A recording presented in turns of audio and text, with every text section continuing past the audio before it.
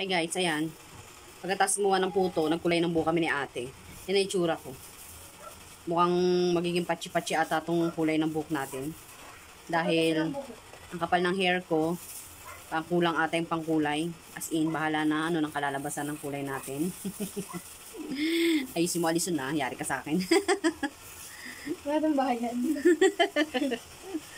ano ba yan? Kahapon, nagpakulay si Ate Rhea kay, sa kanya. Si Alison din na nagkulay. Ngayon, ito naman. Pachi-pachi ang kulay natin, guys. Kasi kulang ang pangkulay. Mukha kay Ate Rhea sumobra sa may tuktok. Akin ata ay kulang.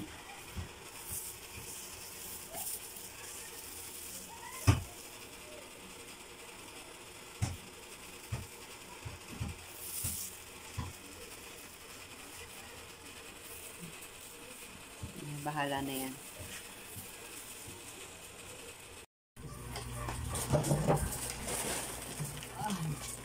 Ayan, hi guys! Good evening! Ayan, ngayon lang ako nakapag-video. Gabi na, kararating ko lang galing kaming grocery. Um, Diyan lang naman sa baba, namili lang ako ng wala akong kilay. Huwag yun napansin. Ang, ang pangit tingnan pag walang kilay.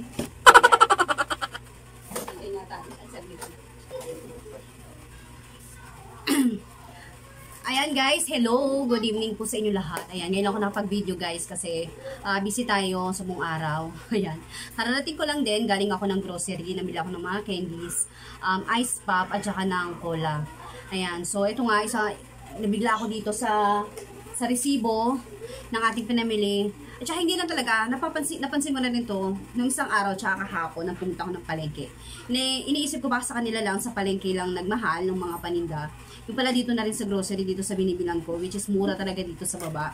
Pero yun, nagtaas na rin pala talaga sila. Kasi sinabihan na rin ako kahapon nung tindera doon sa palengke na yung tag 22 pesos nila na paninda is magiging 23 pesos na. Which is ang tutubuin ko na lang doon sa mga candies na yon is piso na lang. So, paano natin madidiskartehan yon Grabe, piso yung tutubuin natin, di ba?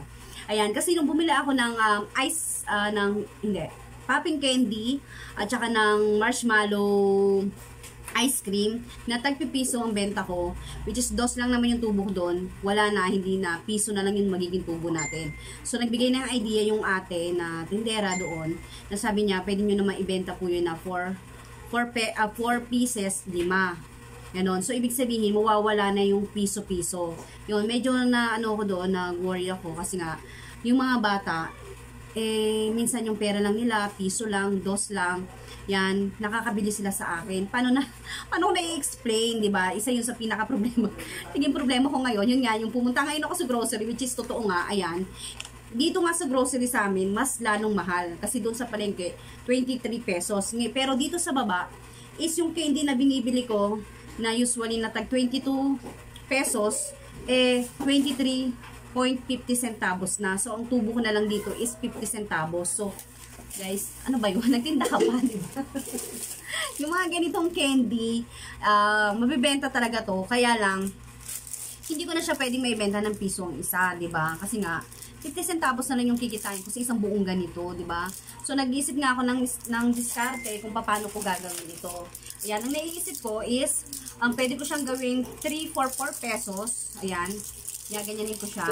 3 for, pe, 4, 3 for 4 pesos or 4 for 5 pesos, ba? Para naisip ko na lang gawin ko na lang siyang 5 ang magiging tubo ko lang sa kanya is nasa 6 pesos lang sa isang ganito. Pero okay na rin yun, ba diba? Kaya lang, yung problema natin, yun yung paano ko ma-explain sa mga suki nating mga, ano, mga bagets, ba diba? Kasi minsan, piso lang yung pera nila, uh, nakakabili sila sa akin, get piso lang yung pera nila. Pero ngayon, parang pinipace out na ng mga, ano no, yung tagpi piso. So, wala na silang mabibili ng tagpi piso. Kaya nakakalungkot lang. Yan, kaya yun ang isa ko, isa ngayon na, ano, sobrang mahal na ng mga candies. Grabe ano na ang gagawin natin sa mga to. Sobrang mahal na. Ayan, nagmahal na talaga lahat ng bilihin ngayon.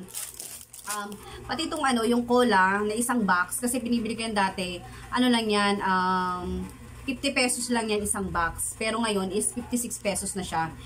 Nung ano pa, nakarambuan pa ata, nagtaas na o, nung na, mga 2 months na tayo nagtaas sila na 56 pesos na siya, isang box. Ayan, kaya medyo lumit na rin yung ano natin yan, yung kita. Pero it's okay pa din. Hanggat hindi pa rin umaano yung ano natin, kuryente natin. Yan.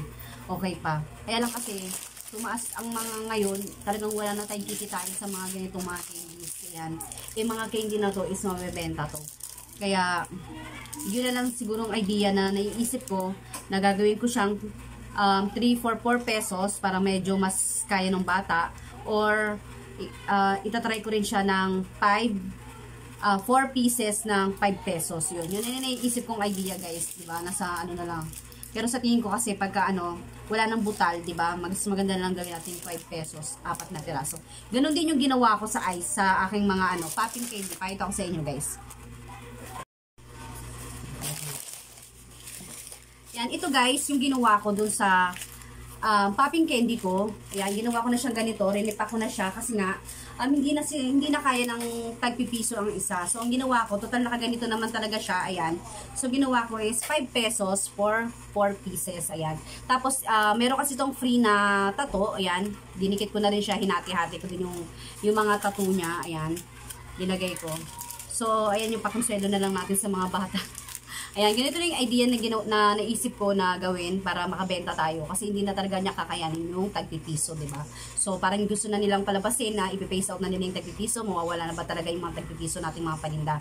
Check natin ngayon yung ibang mga candies na mga nabili ko sa grocery. Kung ganun din ba, nagbago na rin ba yung mga presyo nila. Ayan, sobrang nagtaasan na talaga sila. And itong Chocojo guys, ayan, dati is 18 pesos lang to dito sa amin. So, ano siya, 20 pieces siya. So, meron akong, ano, um, 3 pesos, tama? 18, 19, 20. Oh, hindi. Dos lang pala, as in. Dos. So, ngayon, wala na rin siya kasi tumaas na rin siya.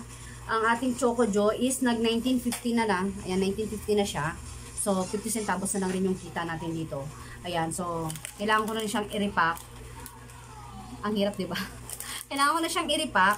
Pati itong, ano, yan, itong mga to. Tapos, ang make-make, Dati is 11 pesos lang to. Ngayon, ano na siya, 12 pesos na siya. So, piso din yung tinaas niya. Um, 24 pieces naman siya. So, ito pwede ko pa itong maging piso. Piso ang isa. No. Kasi 24 pieces naman siya eh. Ayan, pwede pa to. Itong Milky Blacks, ito mabenta rin to sa akin guys. Um, Milky Blacks is, ganun din, 22.50 na din. Tumaas na din siya. 22 pesos to. Ang tubo natin dito is uh, 2 piso pero ngayon hindi na 150 na lang ito. 1 and 50 centavos na lang ang tubo ko. Ayan. Paano na to? ba? Ang hirap 'yan. Wala na. Masyado nang nagtaasan yung mga ano natin ngayon. Yung mga paninda natin. Parang ano na lang, limitado na lang yung mga tagpipiso natin. Ayan. Pati yung ice pop nila tumaas din. Yan. Ice pop nila, dati, ano lang siya, 20, 20, ay hindi, 19 nga lang yung dati dito, ngayon 21 pesos na siya. Pero okay pa rin, pasok pa din naman siya.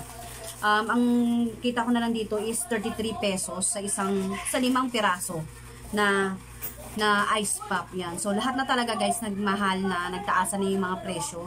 Ayan, baka mawala na talaga yung mga tagpipiso natin. Siyempre, hindi naman tayo magtitinda ng palugi, di ba? Siyempre, pagod pa natin, pagbubuhat, pagbibit-bit, yung iba dyan na mamasakit pa. Ayan, ganun na yung idea na naiisip ko na mag-repack na lang. I-repack ko na lang talaga lahat ng mga paninda natin ng mga tagpipiso para at least um, yung mga bata is ma maano pa rin nila, 'di ba? Makabili pa rin sila. Kasi kung ipipiso-piso natin dito, wala na tayong tubo eh. 50 centavos na lang yung tubo natin. So, ano pa yun? Ano kung maka makakabuhat pa ba yun ng pan? di ba? Lahat na nagmahal na. Ayan, kaya good luck na lang sa ating mga ano, mga tendera dyan. Ayan, mga nanay na nakaka-relate. Sobrang nagmahal na yung mga bilihin ngayon. Ayan, bahala na sila. Bahala na si Batman kung paano natin to pag-aanuhin. Ayan, magrepak-repak na lang tayo guys. Ayan, yun na lang yung naiisip kong idea. Kung sino man nakakaisip ng idea dyan, share nyo naman, comment down below po. Ayan, ito na. Ito na. Basta ako, ito yung idea na naisip ko. Na iripak na lang yan. Ayan. Ayan, kaya dito na lang natin tatapusin guys. Yan, mabilis ang, ano lang to, mabilis ang chika ko lang sa inyo. Kasi alis din ako mamaya, mga 7.30 alis kami. Magsasara na rin ako ng maaga. Ayan, then meron kaming um, gawain. Ayan.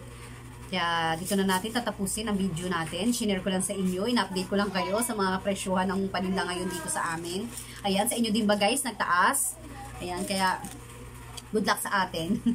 More benta pa din kahit ganun, ba? Ayan. Dito natin tatapusin. Tama na, chika. Thank you for watching, guys. And please like and subscribe.